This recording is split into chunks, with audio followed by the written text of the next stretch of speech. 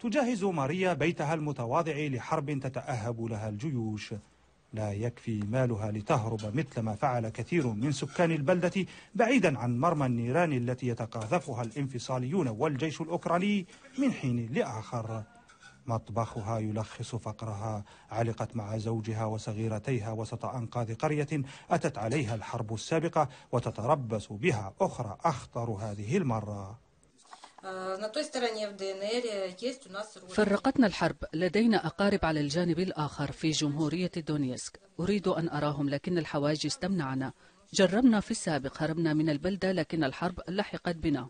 وضعنا المادي لا يسمح بالعيش في المدن الكبيرة. جهزت الأسرة ملجأ صغيرا تحت الأرض للاحتماء من خطر القذائف التي أصابت واحدة منها بيت جارها الذي رحل من البلدة. لسوء الحظ بدأت الثلوج في الذوبان وسكنت مياهه الملجأ لكنه ما زال صالحا للاستخدام تصر ماريا وقد خزنت به ما تسمح به ميزانية الأسرة. بلدة مارينكا من أخطر البلدات الواقعة على جبهة القتال. تواجهها مباشرة على بعد كيلومترات قليلة مدينة دونيتسك التي يتخذها الانفصاليون عاصمة لجمهوريتهم المعلنة من جانب واحد.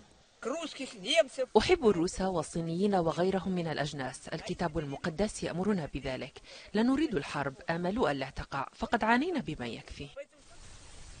على غرار باقي بلدات خط المواجهة سويت كثير من منازل مارينكا بالأرض تماما وتركت على جدران أخرى ندوب لن تمحى قريبا في ظل حرب الانفصال المستمرة ومخاوف اجتياح روسي يقلب نظام الحكم في كييف أو ينتهي بضم حوض دونباس الناطق بالروسية إلى باقي أقاليم روسيا الفيدرالية كما هو حال شبه جزيرة القرم التي تطالب أوكرانيا باستعادتها. صبر أيوب العربي من إقليم دونيتسك شرق أوكرانيا.